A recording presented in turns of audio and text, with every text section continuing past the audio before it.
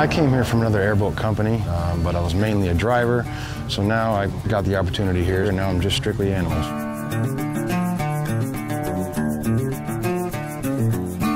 My name's Travis. I am the animal handler here, the, the show guy, basically assistant curator, taking care of the animals. That's pretty much my job title, but it does, you know, vary. I do a lot of other things around here as well. I believe it started early 80s. I'm not really sure, but it did start out with a guy pretty much digging a hole, putting a few alligators in it. It was more like a salvage yard. The guy just liked alligators, and then it kind of just transformed into this over the decades. We've got crocodiles. We do have a panther over there. We've got quite a few snakes on exhibit, some iguanas. We've got some tortoises in the back.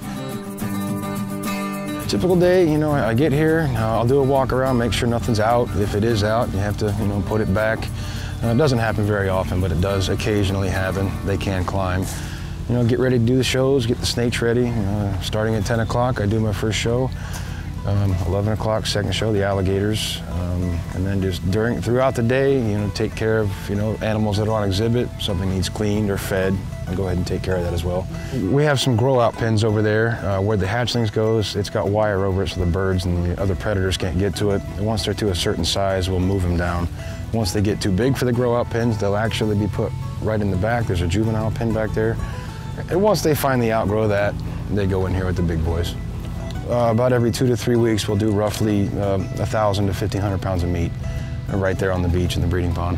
Whoever's really hungry, they're gonna be right there. It's like a big pile of meat, even larger pile of alligators on top of it. It's kind of neat. This is actually more like a, a, paid hobby to me, you know. I get to educate the people, you know, let, let them learn about the reptiles, you know, let the, the, the kids, for example, I love working with the kids, you know, just education for one. Um, like I said, working with the animals has pretty much been a dream of mine since I was little. So, dream come true. I don't have a job, I have a paid hobby. Not a lot of people can say that.